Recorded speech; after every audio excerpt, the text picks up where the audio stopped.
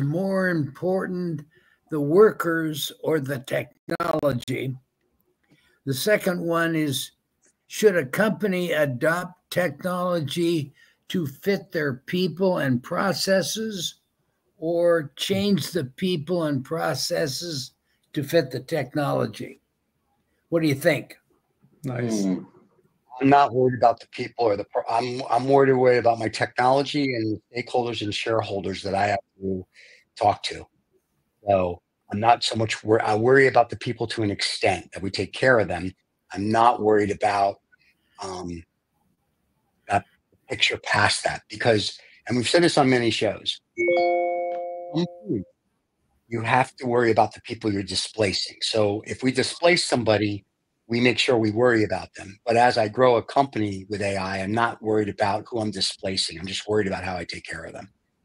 I, I think you got to think about the, the symbiosis between the technology and the people. I mean, to, in terms of the second point of your question around whether you adapt the technology to the people or the people to the technology or and the processes, I think it's I think the best the best route is going to the best way forward is actually combining what makes us human with the technologies as they develop because as they develop it can emphasize what it means to be human in terms of our creativity in terms of our brainstorming in terms of our empathy. And uh, until we're completely replaced by robots i think you it's the right way forward to think about the people as it relates to the technology and consider them both at the same time and you know what? Before we go on to the next thing, hold on one second. Now let's officially start the show.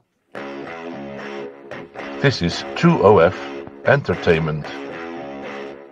Welcome to the Lost Dollar Business Club, where we talk about business, business, business, and not just business. We talk about what makes businesses go up and what makes businesses go down. If you're interested in businesses, this is where it is. We talk about the global economy. We talk about global politics. We talk about everything and anything business related that affects your life on a global scale as well as a local scale. And don't miss after the show, Lost and Found.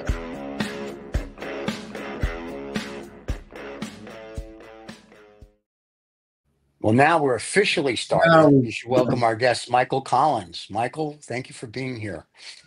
Author of uh, author of Dismantling the American Dream: How Multinational Corporations Undermine American Prosperity, and you wrote a great book talking about how these multinationals, in particular, chose to favor their shareholders over all stakeholders and short-term profits over society and country. Which you say they, they're still doing it. They're and still, now AI over. They're the still doing it, and AI is going to give them another big boost. But you know, back to the question of which is more important, the workers, the people, or the technology. Back many years ago, when Toyota came in and the Toyota production system was a big was all the rage. Toyota said the the chairman said we build people before we build cars. We believe our success begins and ends with our people. Hmm. We want a system that adapts to the way we work, not to have to adapt to the way an existing piece of software works. I don't know whether Toyota still believes that, but that was their that was their mantra 20 mm-hmm. years ago. What do you think? I think 20 years ago they had the robots, so they they adapted the the robots to help produce more cars to help their team. I think with AI coming down the pike, AI is making it right now. AI enhances everything you do. Whether you make a movie, whether you do this, whether you write an article, whatever it enhances. So right now, let's say for the next five years, teaching your staff or your people to use AI only enhances your staff as well as your business.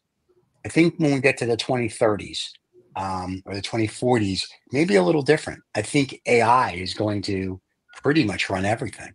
I mean, that's kind of where everybody's heading. If you look at all the technologies, if I look at the AI companies we invest in, no, they're trying to make it easier for people to work and do. And, but, you know, some of them making um, cognate AI, that's going to think and do. So I think when you get to that point, I don't know. I think AI is going to look at us as kind of useless. So. Well, I mean, yeah, if we if we just focus on on the non-physical world, yeah, it's gonna it's gonna create a lot of disruption. But right. you know, we live in a physical world, and uh, you know, AI, you know, is not gonna be manufacturing steel. Right? It, will it'll help maybe the process, but it's it's it's it's not gonna do that. Uh, I mean, you can throw it in all the data you want, but you know, at the end of the day, you, you still got to pour steel, you got to melt it, you got to, you know, you got to get coke out of the earth, right? Uh, so I think it's going to be disruptive to the middle class. It's going to freaking destroy it, right? And we're going to create a lot of inequality because the idea that uh, it just enhances, no. We know that business is rapacious for, for profits. And if they can eliminate a job for a piece of software that, that does, you know, that generates the, you know, a report or writes of course, we'll get mediocrity at, a huge level because everybody will be using the same thing, and then like, what? Okay, so I, you know, it's going to be yeah. interesting, but I, I, think it's it, it's uh, very detrimental to high, high, very high paying service jobs. And you know what? You know, you know, you Steve talks about investment banking. Yeah, that could disappear easily. You know, yeah. you don't need a whole bunch of bankers. Just put a little button and boom, you know, you got a presentation you throw in a bunch of data, you know, and uh, out you come. You know, maybe you need some salesmen, but hey, we could probably produce better salesmen with AI, with less biases and uh, you know hmm. more confidence. So, and even more, now. even more empathy. Actually, they were there was a study done on AI's bedside manners and in a medical institution and people only interacted through like MyChart, you know the epic uh, health health system electronic medical record system so they had the doctors respond through emails through text messages and they had ai respond and people thought the ai was more empathetic yeah. and had better bedside manners than the doctors themselves yeah well that's that's a generational thing because when i was a kid doctors bedside manner now doctors don't have any brains, let alone bedside manner. They're dumber than a box of rocks. Back in the day, yeah.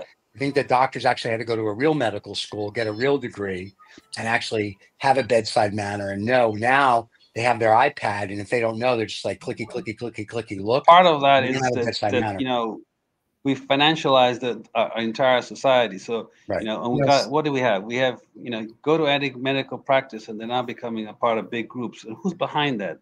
It's freaking VCs. You know, I don't know what they add. All they add is a little time slots to, yeah, yeah. They're just extracting. They're just extracting. They add no value. Right. Uh, you know, it's just pathetic. You know, but the doctors sell themselves, and uh, they think they're getting a better deal, but they're just becoming robots in themselves.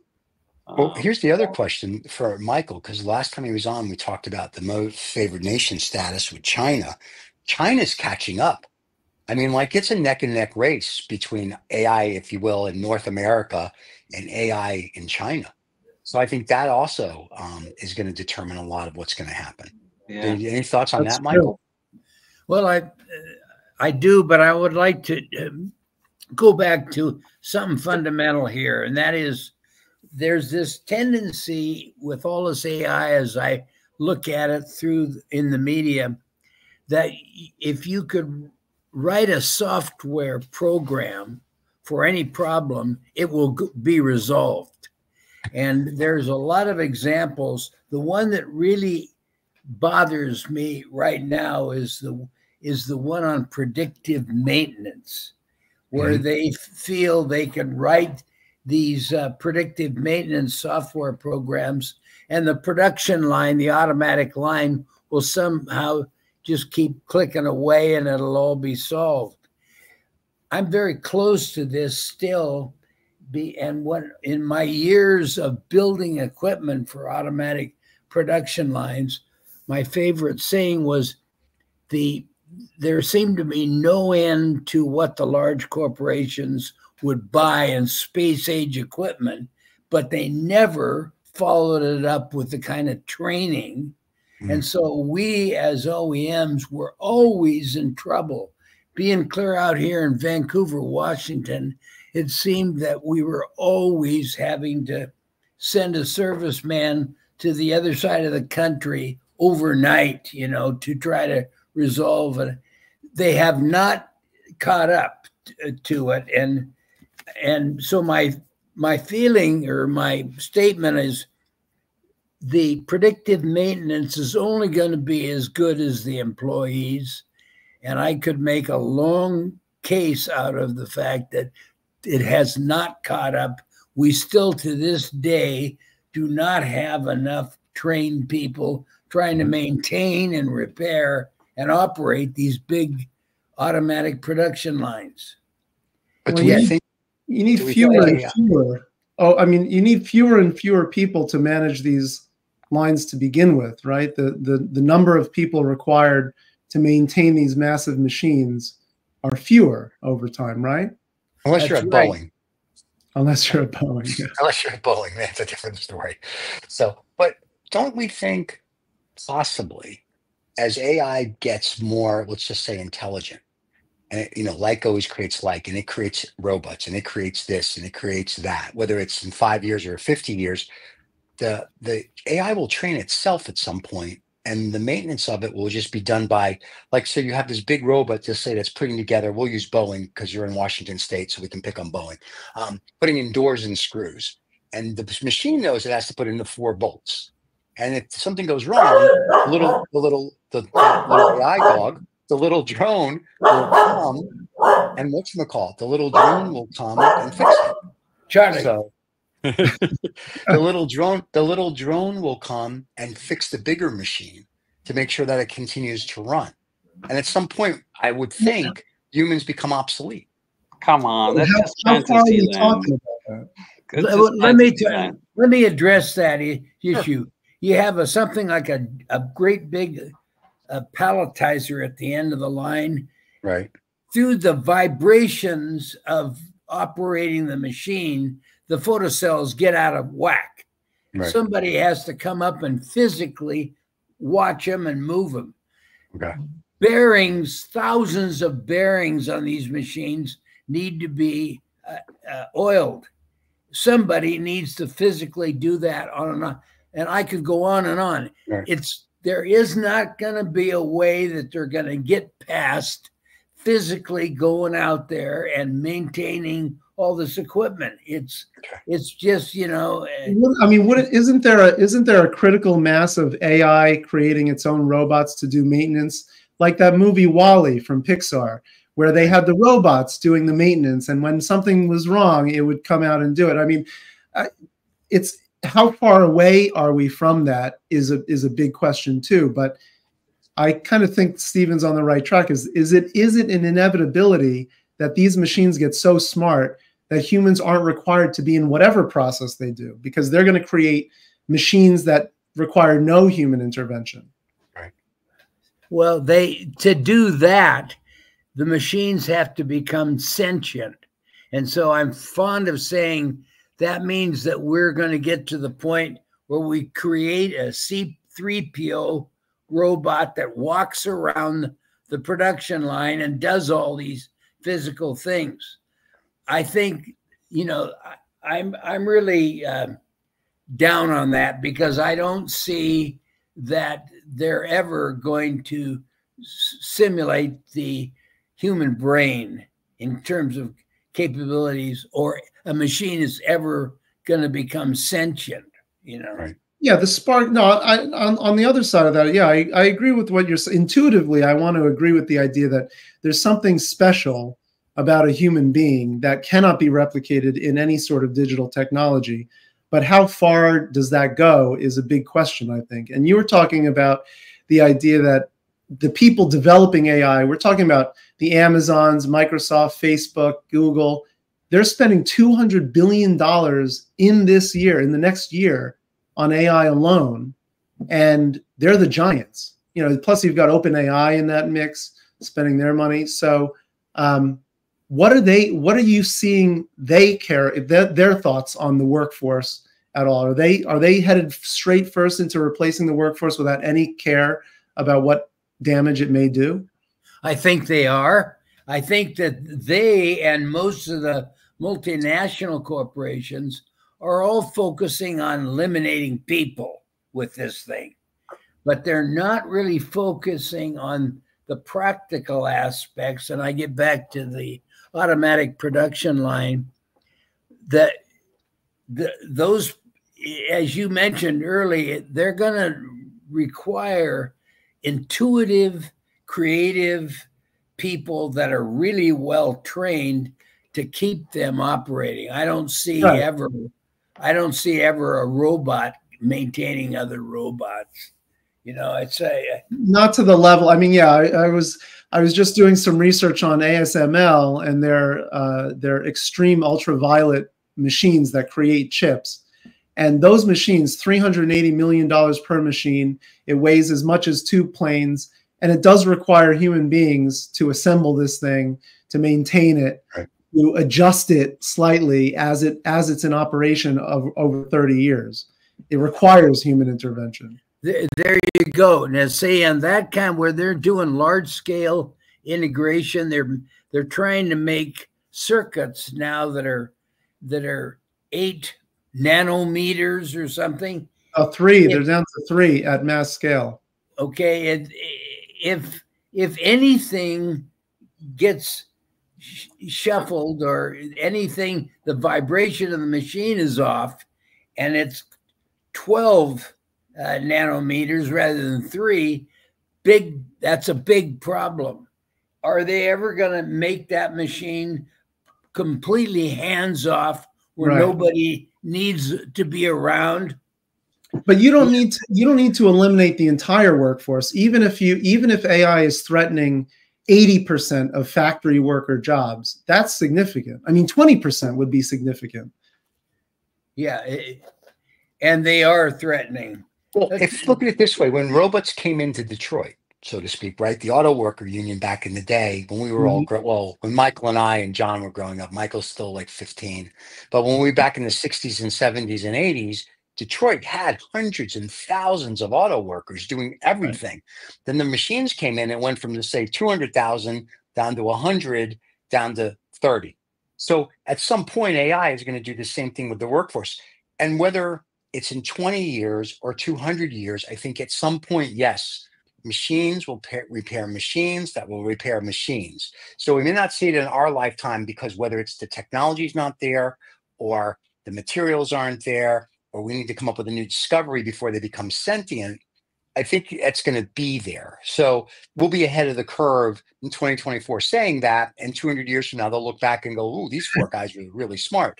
But that's kind of I, I don't think it's unrealistic because if you if we were born in 1824 and we were looking at you know today at 20 2024 that 200 years you jet travel you know, yeah, supersonic. But, so it's the same type of thing. In 200 years, a lot can happen. And I think you will replace humans. That's true, but you can say, but what, when you, so we're talking about the elimination of jobs that currently exist, but yeah. don't we also need to think about jobs that don't yet exist? Because every mm-hmm. technological innovation has required a new set of humans to right. do different things, and we've had to upskill and change our change our titles, change our skills, right. and do something new. So why not in this revolution? Right. Well, you know, we've been talk. I've been talking about blue collar type work and right. why I think it's going to be difficult to totally eliminate them. But if you shift it over and look at white collar, now there I can see where there's going to be a huge loss. I found a Goldman Sachs AI study and it estimated that 46% of administrative positions, 44% of legal positions, and 37% of engineering jobs could wow. be eliminated by AI. Wow. And I, I had lunch with the president of a company last week. He have, they have seven plants around the world. He has established a, a, a big office in India to hold 100 people because India's uh, wage rates are one tenth of ours. Yeah. And he, his view is he's going to uh, use them to do accounting, to do to do design engineering, which is now done in the plants, and all these white collar jobs in this center, and they're with cheap uh, people. I that's his intention, and I think, I think that's where it's going, and I I do see where the white collar people are in real trouble. Yeah. And if it's these kinds of numbers, you're talking about millions of workers. Yeah. Well, that, okay. So the the phrase that I've heard many many times since since OpenAI really got out there and people started paying more attention to it is that it's not that AI in the at least in the next phase, it's not that AI is going to take your job, but it's humans that are using AI that are going to take your job. How long will that be the case? I wonder. Till it happens, yeah, or no? That how long will it be the case where humans plus AI are are are going to be the the dominant force as opposed to just purely AI doing everything? I mean, how long well, do we have? If you look at the one company which we interviewed, Hero, right? In call centers, that's what's happening now, right? They're using AI with humans to do a job. Right. At some point, and I hate it. I yeah, I hate right? the call yeah, center. We all hate right. it. but we all do. But but listen, it pays the bills. Um, but at the end of the day, though, at some point, if you keep training, not training AI the way they do it today with books and Excel spreadsheets, but really train it, which is what some of these companies are doing, have become almost, for lack of a better term, human. Then at some point, the AI is going to be able to have a dialogue with whoever and maybe be more empathetic as the, you know, if you will, like in the medical side. And at some point, then as an employer, you're looking at it like, well, instead of having, say, 50,000 people at my call center, I can have 5,000 people. But as I said earlier, if we're going to eliminate jobs, and I say this all the time when I on the boards I sit on, I'm okay with that. We'll make more money. However, what are we going to do with these people? Like you can't just throw them out to the street. And trust me, with the election coming up, if depending on who gets in, they're going to throw these people out to the street. So you're really going to just have two classes of people. You're going to have very wealthy people and everybody else. Well, and that, has been happening for 40 years. Michael's written about that. Right. That's I know that, but that's my point. But now it's getting to a point where people can't afford to do things. And that's why you see like people going to San Francisco and stealing under $900. Apparently, you don't yeah. go to jail. But my point at some point, when say 30 or 300 million people want to take a picnic, you're not stopping them. You know what I mean? The police can't afford to live, the military can't. Like all these. So at some point, what do we do to make sure that everybody is at least at a point where they can live. So well, how do you keep everybody? How do you keep everybody doing something that is? At I don't care if you give universal income. Yeah, I don't care if you give them universal income. Give them something so they can have, and give them good medical. Give them whatever, but give them. Well, then, but that can so easily be used. I mean, if somebody is not doing anything, if if someone is, if a person is not employed in a in a right. productive activity, like yeah it could be caring for an for an elderly person it could be caring for your children it could be cooking for the family it could be right. working a, a, a, desk job that maybe is going to disappear but if people aren't doing something productive that's a that's a it doesn't matter how much money you give them because the issue is they're they're there doing nothing people are not going to do nothing yes they are people are inherently lazy they get hmm. lazier every year they want to sit on their phones all day that's great how much money do we need to give everybody to bring up so they can mm. afford to feed and eat? And you know what? I don't care. What I don't want to happen is as we make more money and we get rid of people, and if we don't have a plan for this, what's yeah. going to happen 10 years from now when say 300 million people are like we can't feed ourselves we can't get health care yeah, we I mean, can't get this and they're like hey you know what we can do we can have a civil war that becomes a problem then well, all right so well, that's an issue well, John mentioned eh, mentioned it early on in this conversation. It'll lead to inequality big time. We already right. have inequality, but it's going to expand the distance between the very wealthy and the average worker. I don't know where that's going to lead, but I think it's it's grim. Yes. Yeah.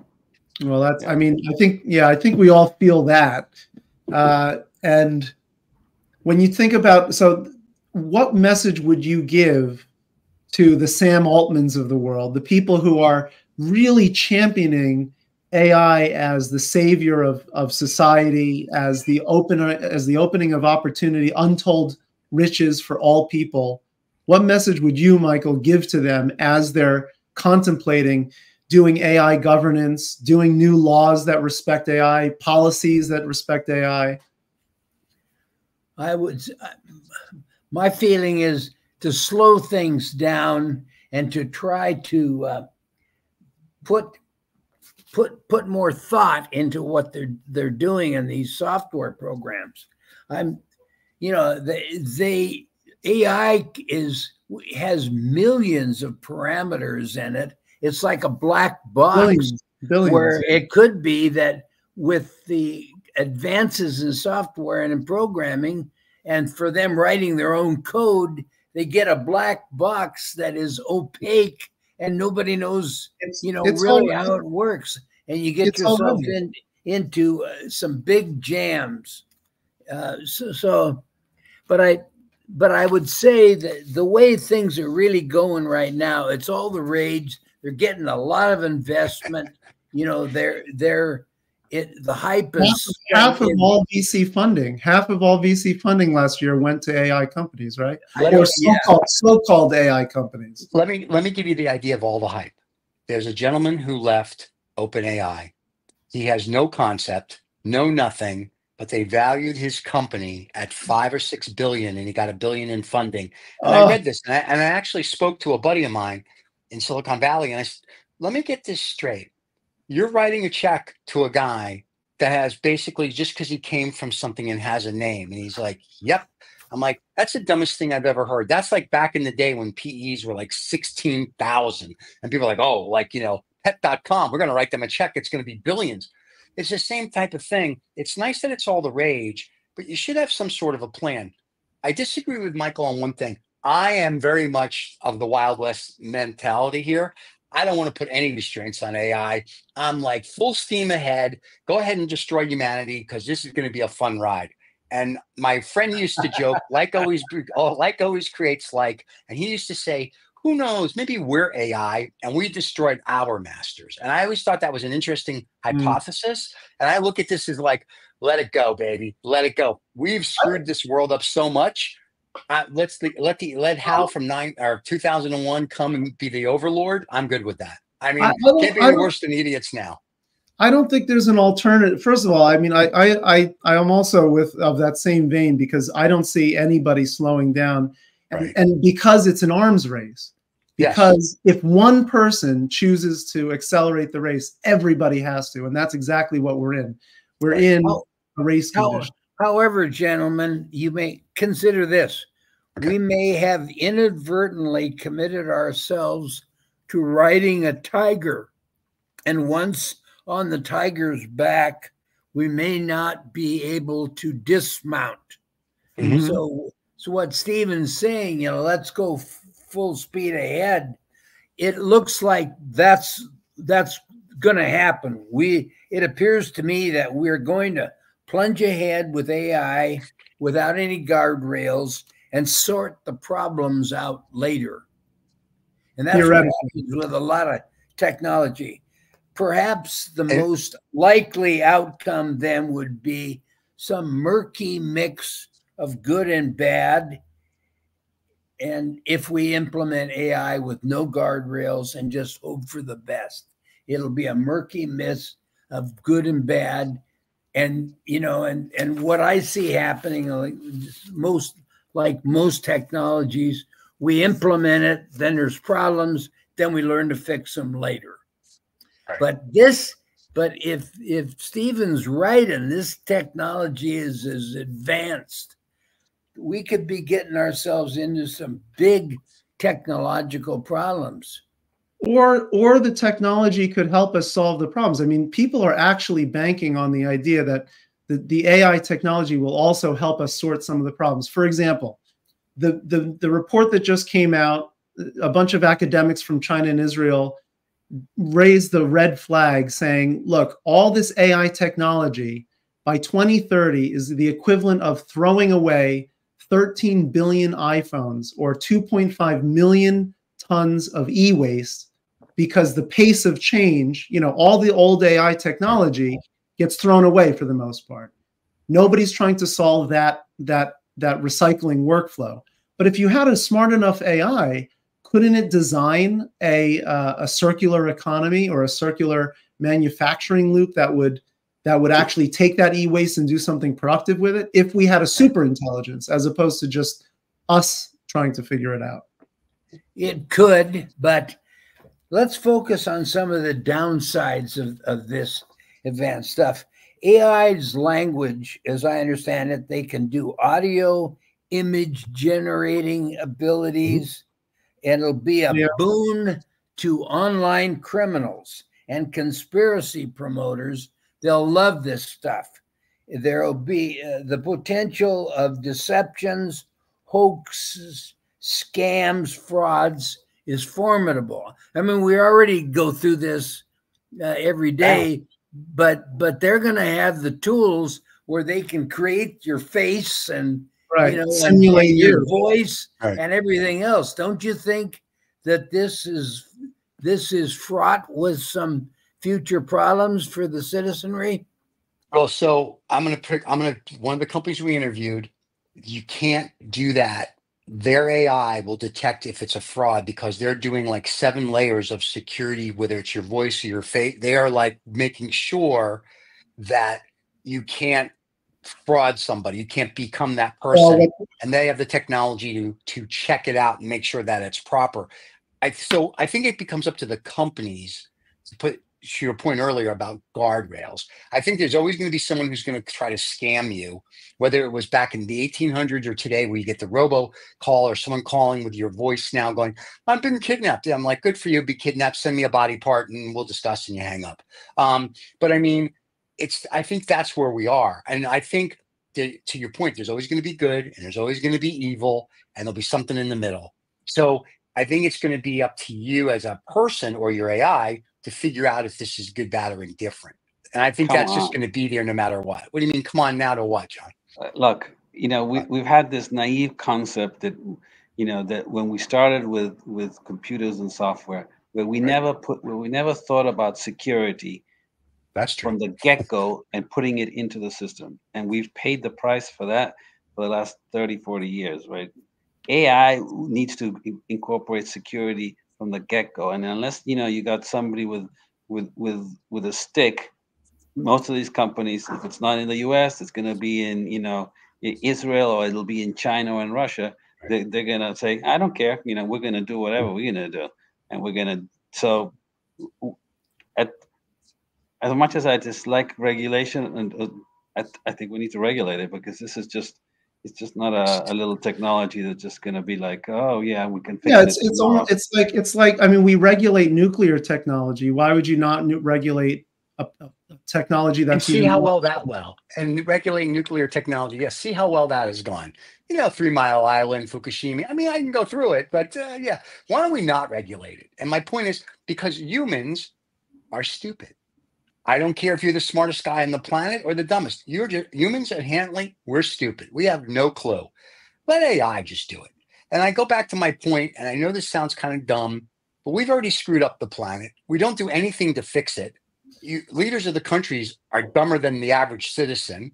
Maybe AI can actually bring things into an orderly fashion and where we all actually have a utopia where everybody well, can kind of just be taken care of. That's remember, yes, I know that's Star Trek-ish. Yeah, he said that's it. The stupid, and that's a stupid idea. Come on. There you go. That's why we need AI.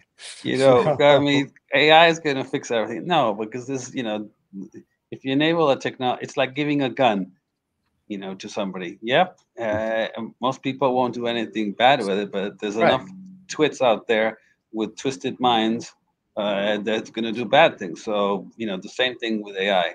We need. To well, I think John's John's point about about getting the guardrails in the beginning and not after right.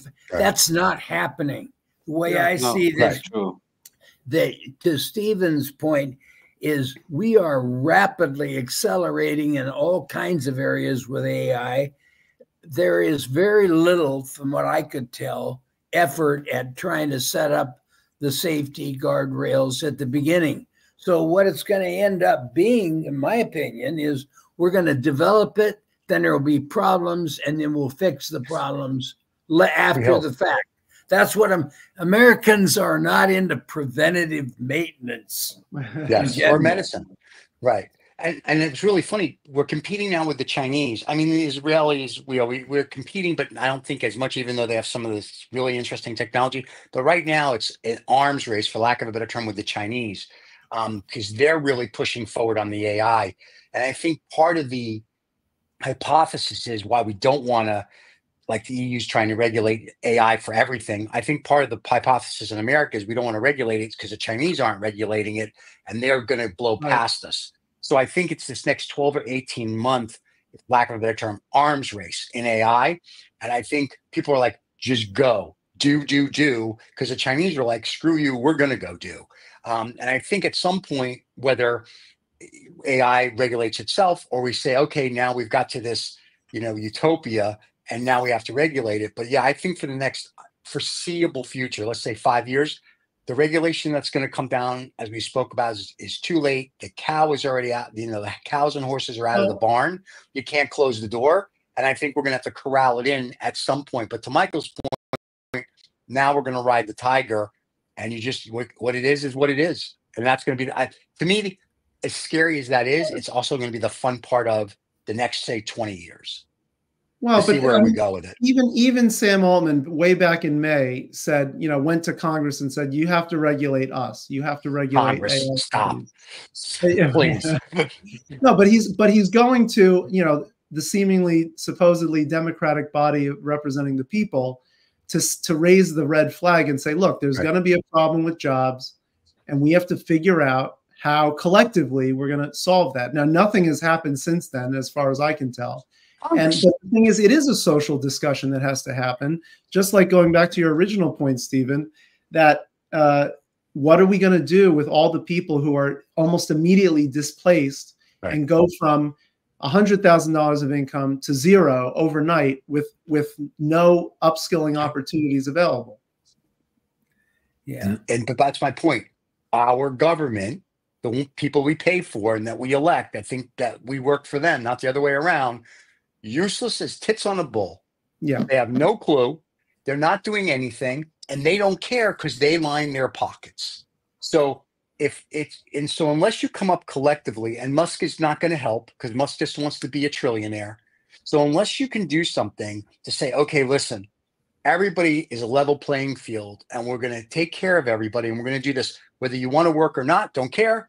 Everybody can afford to live then you're going to have a problem. And the problem is going to come when 80% of the population is in the I can't afford to do this, I can't pay for this, and we're not doing anything about it. I've been discussing this for 10 years as we've taken over things and we have to displace people. I'm like, what are we going to do to make sure they're okay? The biggest thing is, and Michael's first question was, is it people? Is it the people always have to be okay? I mean, if you read a history book, when the people aren't okay, it's bad, whether it's for government or for business. As long as the people are okay, you're okay. You can keep growing and becoming richer and whatever you want to do, but you have to take them with you, not to your extent, but you have to make sure they can afford basic things and give them things. And if you don't, I don't, your AI is, is at some point, if everyone's out of work, then what are you going to do? Well, the question is, how do, you, how, do you, how do you share? And Sam Altman said it too, not to quote him too much, but how do you how, in, in the in the age of abundance that come the potential age of abundance that comes from AI in the sense that you can have some people can have whatever they want at any mm-hmm. time. How do you share that? How do you make sure that all people can in some way benefit from that abundance? Right now, the wealth redistribution that happened and the wealth concentration that happened since COVID is unprecedented in human history in terms of the top 1% getting uh, leaps and bounds ahead of the rest of the rest of the world. Mm-hmm. That's accelerating, is what Michael brought up. Where's the system that's going to redistribute in a way, redistribute or re-equalize this inequality? It doesn't exist. It's not there. And so we're as as I said, that we're going to plunge ahead with this stuff until we cause problems, and then we'll we'll address the problems. But let me ask you a bigger thing. In measurement, do you think AI will change productivity uh, in the country, economic productivity in terms of you know um, man hours, um, however they they measure productivity. The internet never never uh, produced the productivity that it was supposed to. In fact, um, my good friend Jeff Ferry, who's an economist, says the introduction of the internet did not improve U.S. productivity in terms of output per hour worked. It did not improve. It was 1.5% between 2007 and 2024, far below the 2.7% that we had from World War II, you mm. know, up until the, the boom he doesn't think that AI is going to impact productivity positively or create more productivity measure. And that's the final measurement, you know, economically of whether this stuff is going to really well, work. One, it's a it's a it's a terrible measurement to think that GDP is the only way that we should be measuring satisfaction or or even productivity. But I mean, let's not. Well, I'm not saying it's the only no, way, no, but it's know, it's a way, isn't it? It's a way. It's a way to do it. But even that? if you even if you but let's just accept it and let's say GDP is the way to measure it and and is the right way to measure it. Um, AI is already having positive impact on productivity, such that people can. I mean, people you with GitHub Spark, which was just released two days ago it's a technical preview where you put in just you just say what you want and it programs it for you. It gives you actual code.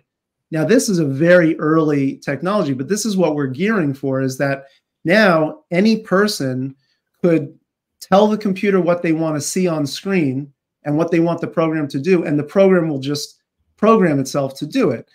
That would be hugely productive, right? Because then everybody who has an idea even can create what they want and they don't have to wait for a hundred thousand dollar or more programmer to program it for them. I think there is a, AI is different, I think, than the internet. No? So you're saying then it with all these fancy uh, new capabilities that will probably increase productivity per man hour worked. Is that what you're saying? Yeah, I mean, I, I feel like I feel like I'm more productive in the in the two years that I've been using it because I'm able to have brainstorming sessions that, as working at a startup, wasn't able to have because we're a small ship. And I'm able to put together plans that would have taken me days. I'm able to at least get the framework of it in a much shorter period of time. So I think in that, in terms of that output, I think so. But then again, you so there's one other side to it, and I think you were pointing to this, Michael, is that it's a competitive landscape too in terms of productivity. If everybody's using it, maybe Steven said it too. If everybody's using the same tools, then are you really going to get relative productivity? I, I don't know. Well, look at it this way. Unlike our little world of investments, if I can program AI, which some people are already doing, but everybody now can program AI to play the stock market or to play options mm-hmm. or to play gold or play currencies, in theory, everyone's going to become a billionaire. You can start with $10 and by the end of the week, you have a hundred. And at the end of the next week, you have a thousand. And at the end of the next week, you have 10,000. Because AI, with all the other AIs, gonna be like, oh, it's gonna go up, it's gonna go down, buy, sell, buy, blah, blah. And before you know it, in theory, then everybody is wealthy. So I mean, well, I think it can. I don't know. I mean, at some point, John. No, I mean, because, it, it, because it's a a market is two it's two sided. For every buyer, there's a seller. Mm. So if everybody right. uses the same technology, there's no buyers or there's no sellers, so it's it doesn't create any. How, how does how does BlackRock do it with Aladdin? You know, doesn't doesn't Aladdin control like eighty percent of the yeah. of the they trade? the lamp and the genie comes out. Yeah, and they talk yeah, yeah. and Barbara yeah. Eden does. I don't know. I mean, AI, you know, has has its has its role. Yeah, right. the problem with regulating, as, as Steve points out, that yeah, China, you know, is you know they want to use this as as a way to to even increase their their competitive advantage and control over us. Right. So yeah, I mean it's a it's you uh, know it's it's a difficult decision. The, the productivity question. If you look back to 2000 when the Chinese were let into the game, and we started really outsourcing. The multinationals outsourced by the, you know, we lost three to four million manufacturing jobs just because of outsourcing and China. It was that during that time that productivity fell to 1.5%. Now, who's to say that our that this generative AI is going to be done here in the in the mm. country. My my friend, the president, was telling me he's moving his AI is all going to be done in Bangalore, India. Right. So that's not going to mm. contribute to productivity in the United mm. States.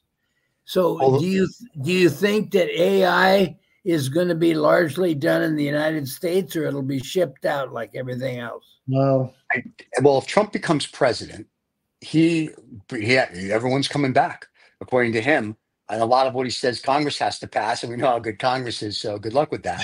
um, the companies that some of the companies we're working with are having it done in Vietnam, India, and other places because you know they can pay, if you will, a hundred thousand a month for a team of X, where they'd have to pay a hundred thousand here, and they're getting better work. Eastern Europe, Latvia, the rest of those places. So I think it's going to be done globally. It's going to be done. I think AI will be developed globally, but I think the countries that will use it will be, if you will, the United States and China, because right now it's still that superpower race. And I think AI is going to determine, maybe not in the short term, but in the long term, who the superpower really yeah. is. Um, do you, so, do you think it's like the space race all over again? Yeah, but with with more more, with more consequential. Yeah, more more consequential. I think the country the countries that will do well with with AI developing yeah. it are the people. We go back to the physical world. It's about physics, yeah. and the people that have or the countries that have the cheapest energy, electricity, yeah. are the ones that are going to win the race. Because let's face it, it's chips and you know okay data and data needs electricity and, and this water. is why this is why all these big companies uh, are, are, are, racing to, to get small nuclear reactors and even in, in Microsoft re, restarting Three Mile Island.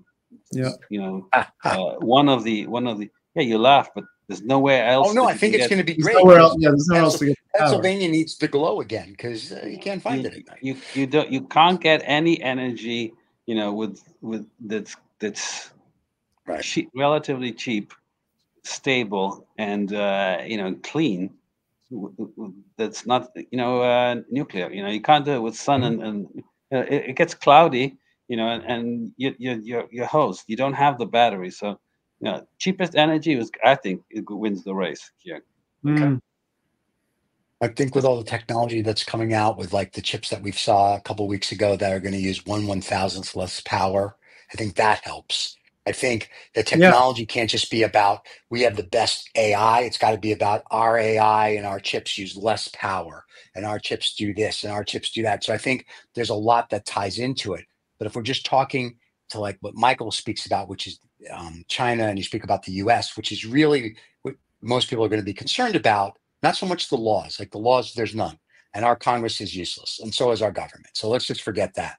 It is going to be a race to see who can develop the AI that takes over, for lack of a better term, the world. And Sam Altman can preach to Congress all he wants about people and technology, and, and EU can do the same thing. It's falling on deaf ears. It is now going to be a race to the finish line. And whoever wins that race is your superpower, is say 2030. And it's that simple. And so it's going to be a race between the US and it's going to be a race between China. Well, it's it's the race between, you know, the the the ostensible democracy and authoritarianism. That's the race. Well, we're going to have authoritarianism here and next year, so no, it's the same no, thing. No.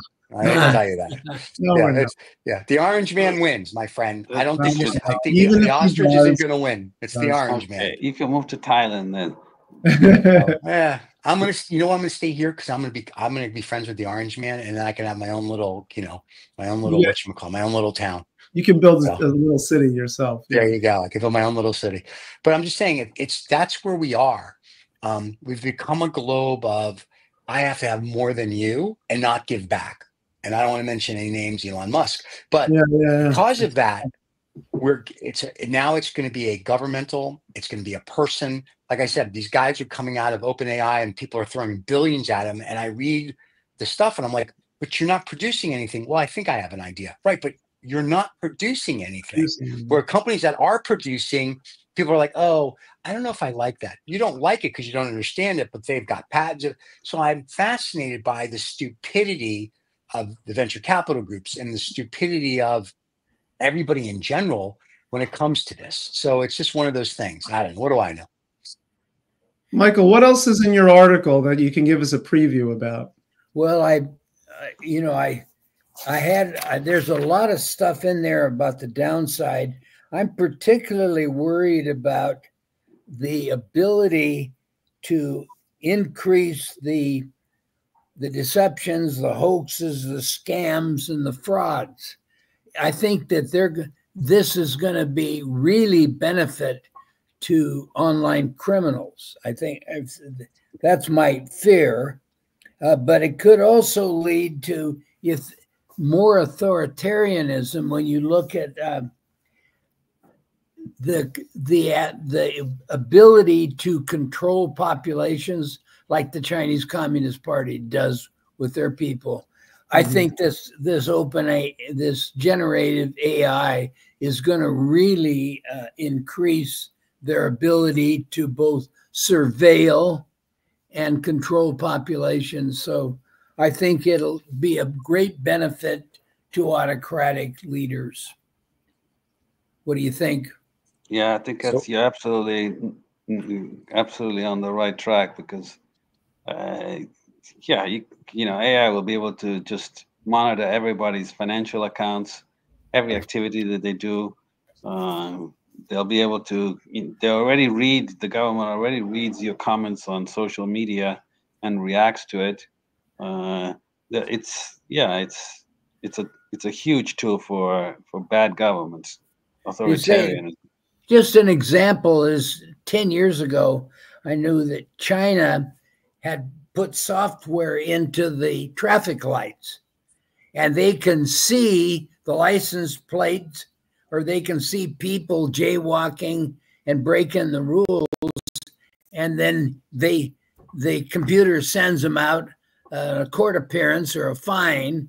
You know i hmm. mean you take that by and expand it tenfold and you can see where surveillance will go in the future I think this is bad news. Yeah, mm. definitely.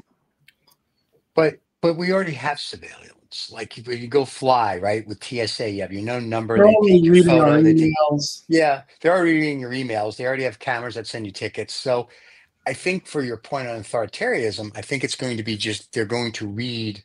The AI can read quicker. It will figure out if you're good or bad. And if yeah. the regime determines if you're bad, then some nice gentlemen are going to knock on your door and then you're going to disappear. So I think that's where people are, I think, worried. But most of the American public or the public on the planet doesn't really, they don't, they're not thinking like that. They're just like, oh, how's it going to make my life better? You know, like, or they're scared because they read some articles in The Economist or this or that.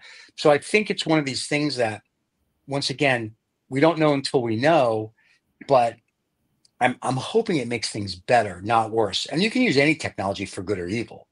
You know what I mean? So I, I, sure. it's a it's a hard line, I think, to uh, to say what we really think is going to happen with it. I I'm hoping that it just it does something phenomenal. I don't know what that yeah. will be, but I hope it does something yeah. phenomenal. But like I said, right now, but hope is not a strategy, right?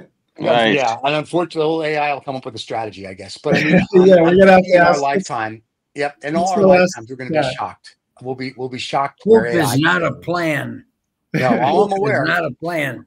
Well, you know, the, if you, you know, if you follow the Ukraine war, now they're right. using a, a, lot of uh, the uh, drones, military right. drones. Swarming. I can see a time where they, the AI sophistication will turn it over to the drone to yeah. make the decision uh, on who to shoot, and it won't there won't be any moral guardrails involved.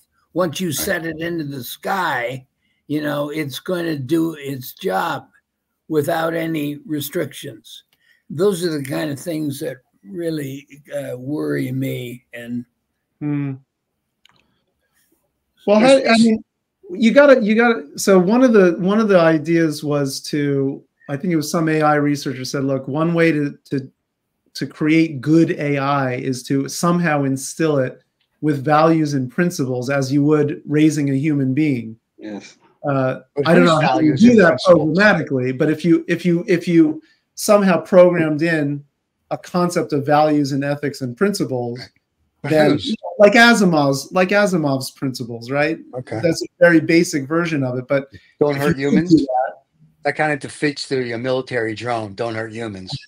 That's kind of, it'll I like always be a Jill's- back that kind of door. it. Yeah. how do you- how do you how do you do that program in values and Yeah. one one thing i found online was uh, is using ai in the criminal justice system and it would be the software that would make a determination whether you were were were still on parole or would be released Hmm. as near as i can tell michael is the the technology you know we're in this gallop you know into the future and i don't see people really spending a lot of time on No, morals or values right now No, it's all I'm about in the tech industry. I don't do that either. as Steven said, getting billions of dollars for an idea. It's all about pushing the technology, and the, it's not about the people. It's not I- about the people. I said in, There was- in my f- final paragraph. Let me read my final thought about how it is. We are a techno- technologically rich civilization addicted to software solutions and averse to the people implications of our decisions. That's where it is right now. It will be interesting to see if the costs exceed the gains. Hmm. That's interesting. Yeah. It may. What do you, what do you think? I, I agree with that wholeheartedly. But let me just say something about your prison with AI. There's an article that's either in the Economist or the Financial Times as they were talking about a software, of course, AI software, that when you go to prison, instead of being there for 20 years, they put you in some sort of a, a thing, chamber, do whatever to your brain. So it'll seem like 20 years, but you're only there for like a couple of days and it's supposed to rehabilitate you. So you come out this new, it's like George Orwell's Oh, 1984. that, yeah. No, It's it's, like- Like I saw that. clockwork I- I- orange, you know. Yeah, right. I Yeah, saw that. yeah. I'm like, well, that's it. That's interesting. So basically, uh, you should write a book, and it happens. So it's going to be interesting to see that. But then I'm like, then what do we do with these people? So you're rehabilitating them. What are you going to have them write code and be a police? I mean, so I, the concept of what we can do with it is great. But to what you just read to your paragraph, it all sounds good in, in theory and hypotheses and principles. Now you have to actually implement it. And I don't think people really are going to uh, implement it for good. It's like, oh, I can control someone's mind. I can do this. I can do that. I think it's really going to go back to how do we make money? It's all about, unfortunately, we're not a society that we care about each other. We're a society of I need to have more. That's the that's financialization that John was pointing out earlier. I Yeah. mean, that's that's exactly what it is. It's because the greed is good became a principle that everybody seemed to follow, or enough it's not- enough, enough people seem to follow. Yeah. Let me give a let me give a real basic example. Out here, out here, we have to to do our cable. We have Comcast, and I hate Comcast. They do they do just an incredible number of bad things to us users. So when you try to call them, first of all, they do everything in their power to never put a person on the line. Mhm. And when they when you call in for a question, like last night, I was watching my favorite program, and it I get a blank screen for six minutes. It happens almost every night. When I try to call them, when you call them, they say, "Well, listen, we'll put the chat bot on, and the Mhm. chat bot can answer your questions." And in chat bots and you know and the AI, uh, I would say that in the last five years, I've never gotten a solution or an answer to my question. Right. So I'm a chat. I'm hoping that AI improves this, but right now it's still terrible. You Terrible. cannot, you know, you, you whatever, you know, you call in, you guys know all know that. You Yeah. call the doctor or a medical company or something. If you can just get to Agnes, Yeah. she'll tell she can tell you in 30 seconds, Right. you know, what you need to know. But Yeah. if you go through the artificial intelligence stuff, they never really there aren't enough programmed alternatives, I guess. Right. But Com, do you guys have Comcast back in the no, East? God forbid. God forbid. I used to have it and I got rid of it. terrible. Oh, and you said, you know, and it's all about money with Comcast. Yeah. Oh, yeah. They keep raising the prices and and stuff, and and the and the service is pretty much a thing of the past. And so I'm wondering whether with artificial intelligence, this stuff is going to get worse rather than better. What Maybe not. I think it may get better because artificial intelligence done right, and right being the key word, actually can be helpful because if it can not, I don't, I'm going to say think, but not think if you will, but if it can think and go and answer questions and resolve things quicker for you because they've trained it to do so instead of a bot that can do absolutely nothing because they trained it wrong, then I think it, you can go, hey, I have a problem. And be like, no problem. It can go boom, boom, boom. You're done and you're fixed because it can do everything for you. The problem is today they just trained it on an Excel spreadsheet. So it doesn't do anything other than the say 50,000 commands it knows. It can't go past that. The new Right. AI, the things that we see that are coming out, they don't teach it that way. They teach it like you teach a child. Like they teach this is a word, this is what it means, the next and the next. So it like it goes through an education process. So the, the stuff that we see is not the AI, not ChatGPT, not like how they train it. It is trained as a human. And so when they put it into place, it seems to do much better because it can actually almost think on its own and get you to a solution. So I think if we do that, I think your problems at Comcast would be done, but then Comcast will be too cheap to buy the new AI. So you're screwed. Sorry. So, Yeah. so but yeah, I think I think if, if it's done right, it will be helpful. Um, I don't think you can teach it. Unfortunately, you talked about earlier, like morals and this and that, and what's right or wrong, because what's right to just say us in China may be wrong, and vice versa. So I think you can give it an underlining, like this is kind of like here you go, and then it's going to have to make decisions on its own. Especially if you have military drones or you have this or you have that. So it just depends. You know, the healthcare ones should do something different. And so we'll see. But that's what I'm saying. I think the next five or 10 years in AI will be very exciting. And uh, hopefully we'll, you know, the earth will still be here so we can see it. So, Yeah. but we'll see. All right. Michael, well, that's a great good to see you. conversation. Yeah, Yeah. Michael, wonderful to have you back on the show.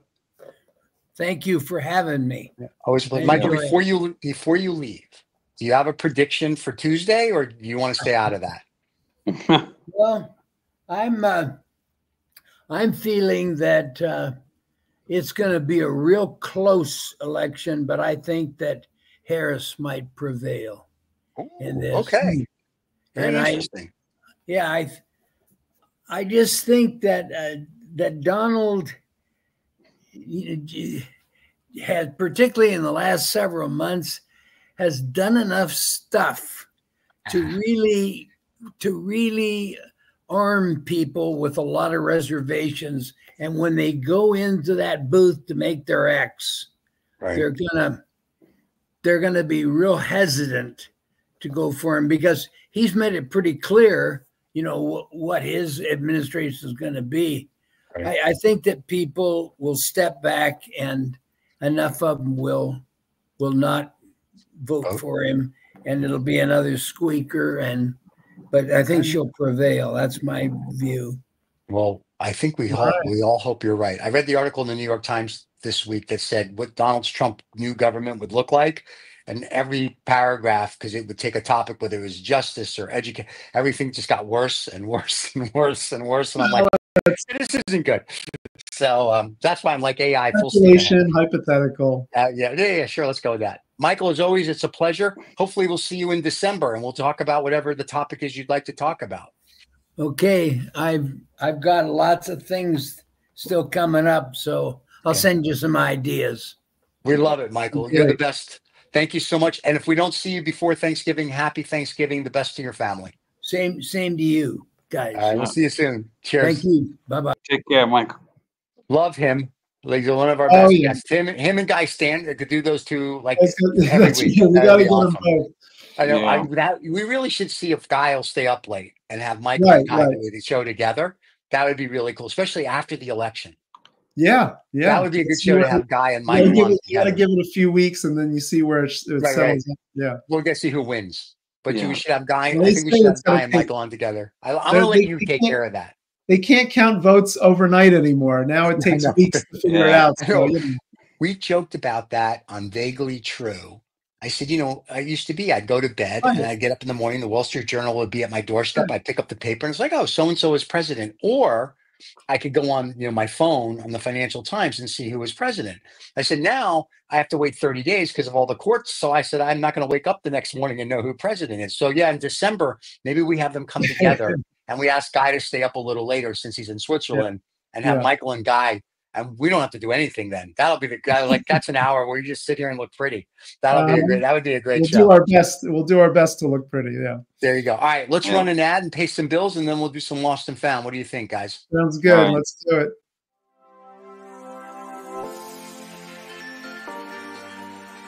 Get the freedom and the flexibility of remote work in the lucrative tech industry.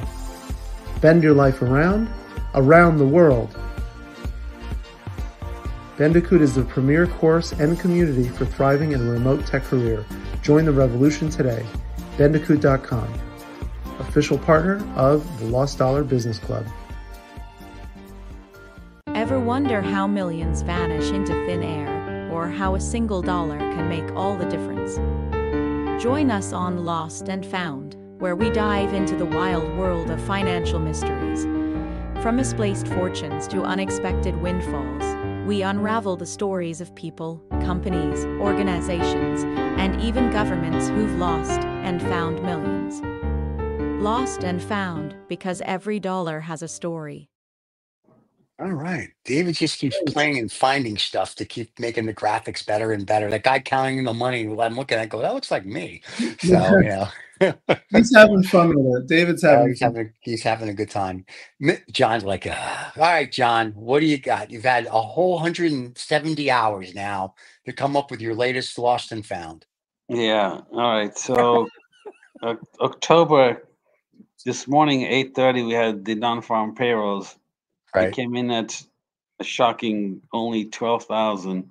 You Right. know, uh, well below the expected. And October, of course, was revised lower by, as usual, from two hundred and fifty-four thousand to two hundred and twenty-three thousand. So, uh, so we're just thirteen thousand from a negative print. So we'll see how how this all plays out for for the election. But I don't know. I guess it's a That and they'll Lost- revise it next month. dollar. It'll be negative. It'll be Yeah. negative next month. They'll revise Yeah. October next month for you, John. Don't Yeah. worry.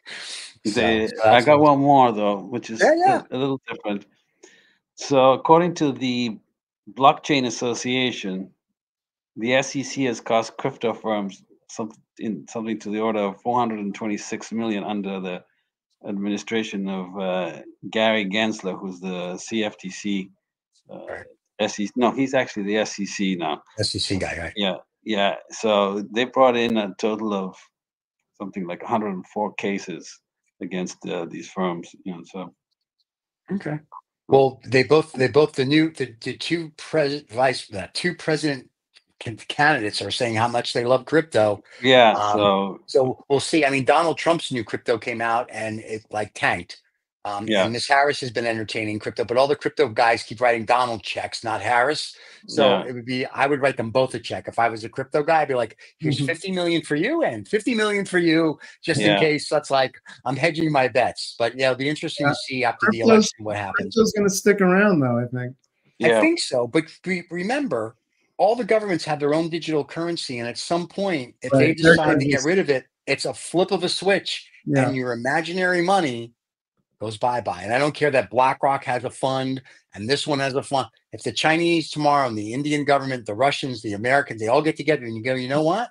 Screw them, and they go click. Well, you can't do anything. You have no asset. It's all it's all make believe assets. It's an algorithm. as we call it. It's a crypto Yeah. algorithm. So yeah, something to keep. Now, if Trump gets in, I think you're okay. I think he's going to keep it because he's going to use it for whatever he's going to use it for. He'll make a new Trump coin or whatever. So I'm, I'm that's positive. If Harris gets in, I, I'm going to see what her administration does. I'm not. I, I like crypto for what it could be used for. Switch, you know, so you went from supporting it now and then boom, now sorry. Like the minute Harris says it's no good, she's right, it's no good. But I think for other things like tokenization of assets and what I think there's a lot of good things you can use it for. You just have to make sure that the government or governments you're playing with um, agree with you because I would hate to not have it one day. You know what I mean? I think Yeah. Dubai, UAE, they're going to keep it forever because they're trying to be a crypto hub. Um, there's other countries that are like Singapore and whatnot. So I think globally, yes. It's just the country you live in, maybe not. So as long as you can go somewhere else and get it, I think you're okay. Mm, My opinion. What do I know? I read a book once. right. So there you go. Michael? Well, I've got uh, I've got one thing related to AI for us today, is, and something that maybe we we forget, and it's maybe related to what Stephen and Michael were talking about today, is that there's a there's a a wild it's called it, they're saying it's a wild study in in in the Science Alert, saying that if if you do achieve uh, an an artificial super intelligence, you know that's well beyond humans, that maybe that's what the great filter is that prevents biological societies from actually advancing because by the time you create the ASI, uh, the alignment from the ASI to the biological entity is no longer does no longer exist, and so the biological entity uh, also no longer exists. So people have read about the talked about the Great Filter plenty of times uh, in terms of why we don't technically see aliens yet. Some people believe we have, some people believe we haven't. But if we haven't found, a, yeah, if we haven't found, a, if we haven't found a super intelligent alien race yet, maybe it's because they got AI too soon, and AI also took over, like it's going to do here. Oh, you know, if AI takes over, there you go. It'll be Hal from 2001 or There be- you go, Uh, lasers. Now, I, I think to your point, yes, and and I think like the one because there's companies out there working on super intelligence. That's why I'm like, let the floodgates open and let it just do. Because even if you regulate it, if you're super, if you have super duper AI, you know what's going to happen. Yeah, it's going to be like, yeah, we'll just work around it. You know what I mean? Like at the end of the day, you can regulate all you want, but you can't regulate it because if it's smarter than you, how are you going to? Yeah, how, how do you regulate something that's smarter than you? there's to regulate AI, you know. So it, I think it's going to be interesting. I don't know. It'll be fun to see. I'm looking forward to the next, you know, few hundred years to see what happens. You know, being with the Maybe leader. the politicians will use an AI platform to, to, to ask it for it to create the regulation for itself. That would be- you man, know, that's- you that's know that the lawyers who are working on it are already using Yeah. ChatGPT to Yeah. write Yeah, the because they got fined. The judge in New York, the one law firm, was charging six hundred fifty dollars for a legal opinion. It was written by AI and it was wrong. So the Right. judge made them like rebate like a three or four million dollars back to clients, which I thought was great. All right, I have two real quick ones. One last quarter, BYD outsold Tesla. Um, which I thought was very good. And BYD is, from what I can tell, makes a great product, and they're not made out of plastic and don't fall apart, allegedly. Um, and Mr. Musk made a comment, and Bloomberg wrote a whole article um, that Mr. Musk was saying that he wants to cut because apparently he's president and he's also South African. So apparently he's now allowed to be president in our country because he has money. But he wants to cut $2 trillion out of budgeting and whatever for America. And he wants to cut. And I read this and I was like, I, people I know don't read it. Um, and I, so their vote for Trump is like a vote for Musk, I guess. He wants to cut Social Security, Medicare, Medicaid, um, and other social services and get rid of departments. So basically, everybody who's been putting into Social Security, he wants to just get rid of it. He says, We don't need it. I'm like, oh, great. I mean, you that's writing the check? politically not even a viable decision, I think. Yeah. Well, it depends who's running Congress and the Senate when Trump brings it to the floor, if they really do that. But my point was the fact that he would say such a thing, and you know, everyone's like, "Oh, Musk is the Musk is an idiot." I mean, it's great you have two hundred thirty billion dollars, and you know, good for you, but you can't. When it goes back to what I said earlier on the show, you can't screw with three hundred million people. At some point, No, right, right, right. they're going to be like, you know what? Screw you, because you don't pay them enough. Whether it's your military, your police, teacher, people are just going to be enough. It'll be the pitchforks and torches pretty soon.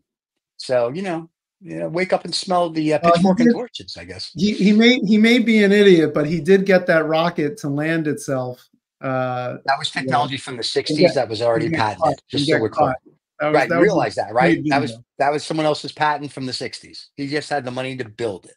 So it's like his boring. He got the boring from 1893. Um, that machine that bored the Vegas tunnel was from somebody else. Well, So- look, you know, let's just like let's think. I know Michael's sucking up just in it case. doesn't Trump matter. You know, the get his technologies. A lot of technologies. A lot of technology is old, but you know Yeah. what? Boeing didn't implement it. NASA didn't implement it. Just- I agree with that. He, he gets Yeah. things done at, at a speed that nobody else does. It would it would take ten years to, to get one Yeah. rocket to do that. He did it in nineteen months. Yeah. I mean, Oh no, no, I'm know, not taking uh, that away from him. I'm just saying, you know, and I'm not trying to be rude. I guess I am in a way. Just literally Musk just shut the fuck up. Like nobody cares what your opinion is politically. Just because you have 230 million and you got to you had patent trolls find you your patents and you can get things done expeditiously, I'm happy with that. But stay out of, you know, you want to get rid of things. I mean, that's the it- whole. That's the whole. Like, should celebrities be talking? should we yeah. care about what celebrities think about politics? And yeah. I agree with because this first good amendment. actor I doesn't think- mean anything. Right. is Bill Gates a agree. doctor? I mean, it goes into Right, the right. whole thing. But Yeah. I mean, I'm I'm happy that he has a First Amendment, and literally you can say what you want. Like we can say, you know, now until the Orange Man becomes president, then we can't say anything. But um, I'm just assuming. But I'm just saying, it, it's like I'm glad you have your First Amendment right, and this is what you want to do. But people are going to can turn around and go, you know what? Then South Africans that have citizenship shouldn't be allowed to own something. That would be my opinion. And then all of a sudden, like, well, that's terrible. So it's the same type of thing. It's like be careful what you say because you're not in touch with reality because you have 230 billion and you're not worried about X. So the people on Social Security and Medicare, they, can't afford things. They're worried about X. Not, well, I I, don't I mean mean, if, if you want to land a criticism on Musk, I mean, he he talks about he actually said things like Americans need to take a haircut. We need Yeah. to live more uh, more uh, frugally. But the Yeah. question is, is he going to do that? Is No, he going to do not. that? Of course know, not. Yeah. Come So on. yeah, so lead Come by on. example, pal. And you know what? You don't need 230 billion. Give like uh, 200 of it away, and then we'll believe what you say. Until then, eh, shut up. So, and you know, we've invited him on the show, and I- and I have. Bill, and, and he doesn't show, and we would be very nice to him. Did you get and an answer? from- from Siege. Um, you, he, I, I told the story before. I'll tell it again. I don't know if I told it here. David has sent emails to Harris, Trump, Putin, uh, Kim Jong Un, and to Musk to come on the show. The response, guess who responded and said that they would get back to us within six months to let us know yes or no. Putin. The Ruski. No, the Ruski responded and said, Thank you. We will consider it and we'll get back to you within six months or so. I think we're three or four months into the six. Everybody else totally ignored us. And I'm laughing. I told David told me this before we did a show one day. And I just started to laugh. I'm like, let me get this straight. Vladimir Putin is the one who, not him personally, just Yeah. responded to you saying, his people are like, we may, we, we'll think about it. Everyone else has ignored you. And he said, Yep. I'm like, that is crazy. So for all these people, how wonderful they are, and we'll go on YouTube and we'll talk to whoever. You're so full of crap. Um, and and not that I'm a Putin fan, but at least they give his people credit. They responded. He's got a better Kudos media team. Wow. Yeah. Yeah. K- Kudos to them for at least responding. Not that if he would come on the show, that'd be great. I'm not sure how that would go since none of us They speak just have an AI program that responds to email. Yeah, probably. But you know what? At, at least you would think Musk would have that. Yeah. Mister, think I'm. Yeah, Mister, that's I'm, you You know, look, I got a rocket ship that can He fly to doesn't wherever have I fly. his, uh, his, his Optimus robots uh, responding Yeah. to his emails. I'm Yeah. surprised an Optimus robot didn't come knock on my door and say, Mr. Musk can't make it. And it goes into its broken cyber cab and makes it down the block. But I'm just saying, you know, it's just like you would think with all of this, they would have at least, I'm okay with no. But it's like we've been asking Donnie and, and Camilla and all of them to show, and they didn't make Yeah. it. But that's okay. So, well, enough about us. Thank you for watching. There's a special live show today. There'll be another live show next Friday, but it'll be, uh, I think, at 8:30 Eastern time in the morning. I don't know if we have any guests, Um, don't forget to subscribe and like. The rebroadcast of the full show will be rebroadcasted on Saturday morning. It comes out at 6 a.m. Eastern time. Um, if you have any questions, please ask or comments. Feel free. Don't forget to subscribe and like. Did I miss anything, boys? Or are we good? Who's next There's week? no, there's no guest. There's no guest next week. So uh, if we can find somebody, let's do it. Otherwise, it'll be us. Oh, hey, Vladimir, this is it, buddy. You can come this on. is Musk. it. You've got you've got a Yeah, you're- slot. Musk's right up the street. Literally, his Cybertruck factory is like five miles away. I could go meet him there. We could have a show. It'll be great. He could give me a tour. It'll be good for the Uh-huh. show. So we ask you, Elon, and you know his AI is watching the internet. So Elon, Maybe come you on, can chop, go chop. to his. He's building a compound for his twelve kids or something with two He has twelve kids. Yeah, know, there's something um, called um, birth ten control. kids, I think. Yeah, Oh wow. Well, He he's trying to repopulate the earth. You know, yeah, Maybe in Mars. It's for his Mars population. yeah. maybe. I think Yeah. that's what it is. Yeah, it could be. All right, guys. It's always good to see you. Everybody have a great weekend. Thank you for listening or watching. Don't Yeah. forget, you can catch us here on YouTube at 2OF Entertainment or wherever you get your podcasts. Look for Two Old Farts Making Noises. That's TWO, spell the rest. And wherever you get your podcast, you can listen to this if you don't want to look at John's beautiful face. And there you go, everybody. We'll talk to y'all later. Cheers.